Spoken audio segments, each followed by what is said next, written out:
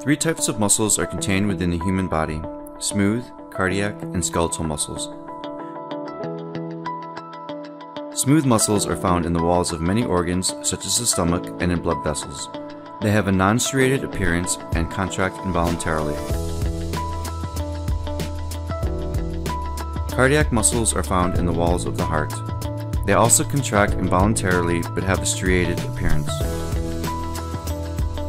Skeletal muscles are attached to and move bones. These muscles contract voluntarily and have a striated appearance.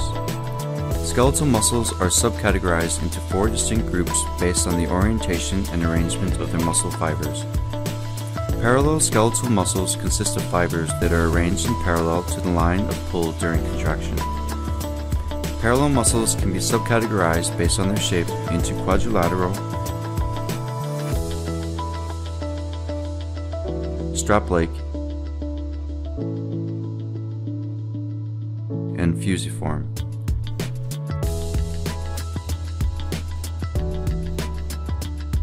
Convergent muscles contain fibers that have a wide origin but converge in order to attach to a narrow tendon.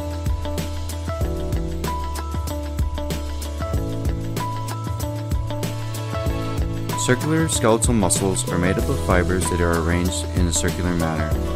They are found at points of openings where the contraction leads to a closure of that opening. Pinnate skeletal muscles consist of muscle fibers that are attached to the sides of a tendon in a manner that is similar to a feather. Pinnate muscles can be subcategorized based on their shape into unipinnate muscles, bipinnate,